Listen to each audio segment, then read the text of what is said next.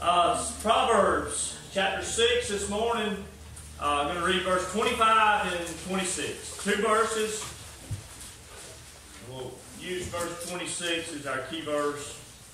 Verse 25 says, Lust not after her beauty, in thy heart, neither let her take thee with her eyelids. For by means of a whorish woman, a man is brought to a piece of bread, and the adulterous will hunts for the precious life. Read verse 26 again. For by means of a horsewoman a man is brought to a piece of bread, and the adulterous will hunt for the precious life. Let us pray. Dear Father, Lord, I thank you for churches, for those who gather today, for those many preachers that are taking the pulpit and are about to preach the word.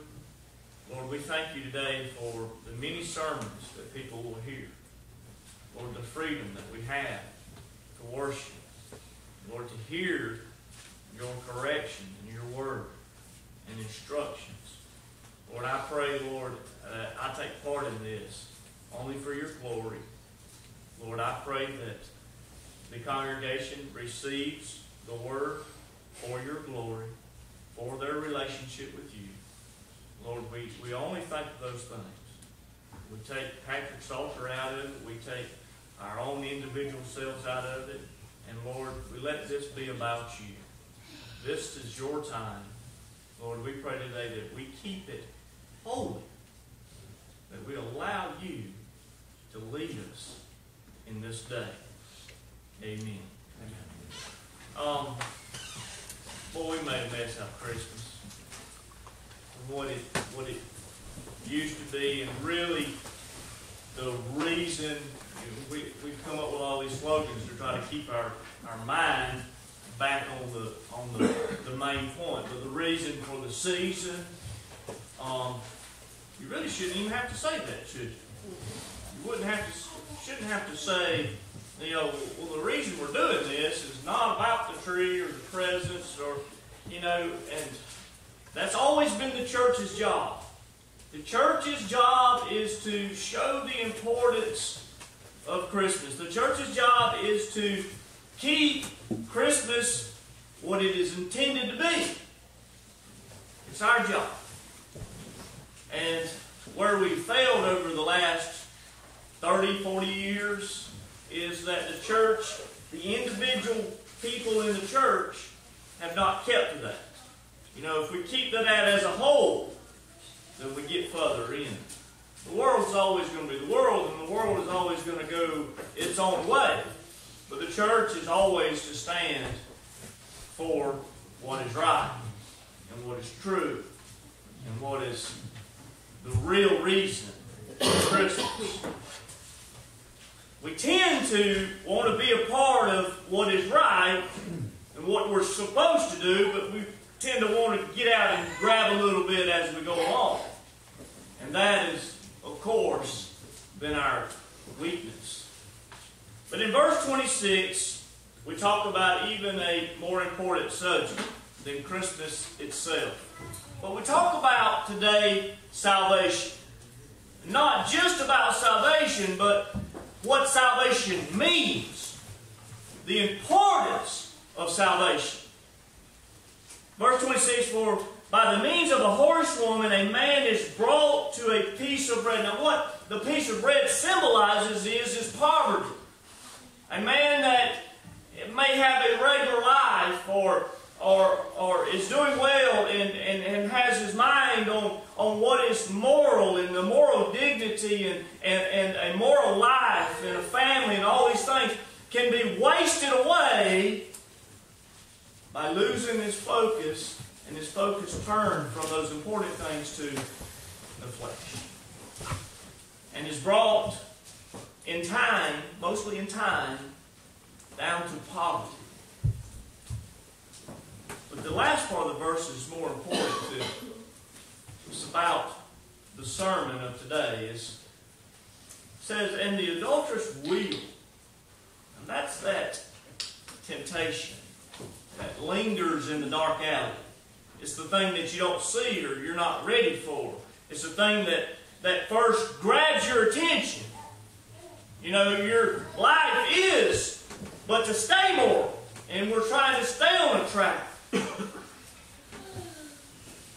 But there's something that we get a hint of, or we get a smell of, or something attracts us.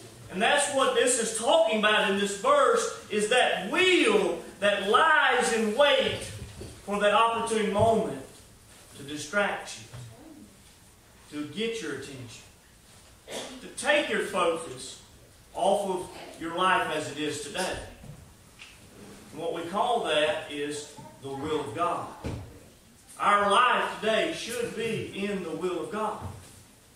And in that path that God calls as a narrow path, this is lying awake in some dark alley, waiting to take you off of that path.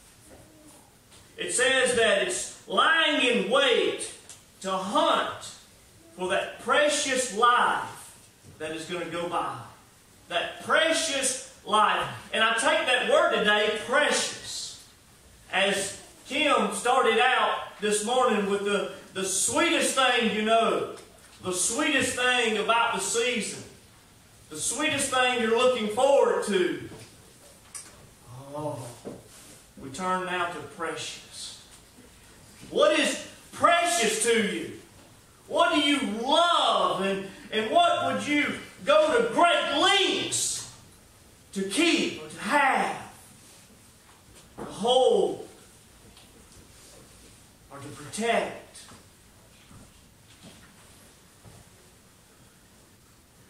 What this verse means is there's something that's lying in the wake that you're not going to see, that you're not necessarily ready for, that is waiting to take what is precious in this world from you.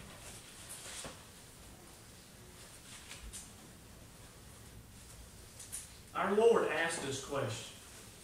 Our Lord said, What would a man give in exchange for his soul. What in the world would we give for our soul? What would we trade today for our soul? Our eternal being. Is there anything on this world or in this earth that you would exchange, that you would make a trade for? Your soul. Now, today we preach and preach and preach about salvation in our churches. And we say, and you hear statistics and all these things about there's so many people in the church that aren't saved, and because they're not saved, that's why the work's not getting done. The, the fields aren't getting plowed, and the seeds aren't getting spread because of the people that are sitting on the pews are not saved. And we preach and preach and preach and preach about salvation. And how many salvation messages have you heard? How many of them have tried to get your attention? Maybe today the problem isn't so much the lack of salvation, but maybe it's the lack of knowing what we have in salvation. In other words, the Christians that have been saved, that are already saved, that are coming to church faithfully, Maybe the problem isn't their salvation. Maybe today the problem is we don't know what salvation truly is. Maybe we don't know what it is or, or what it means or how important it is or how precious it really is. Because we do hear a lot of sermons on being saved. You need to be saved. The only way to heaven is to be saved. You have to be saved. You have to be saved by Jesus. And He's the only way. But once we make that decision, what is it? What is salvation? You know, I hear on movies and just in other things, and you can read books, and you can hear how people talk in the movies, and how that, how something that's so precious to them, and how they talk about it, and you think people don't really talk like that in real in real life. Have you ever thought that? People don't talk like that in real life. This is not real. But think about the things that people are willing to give their life for.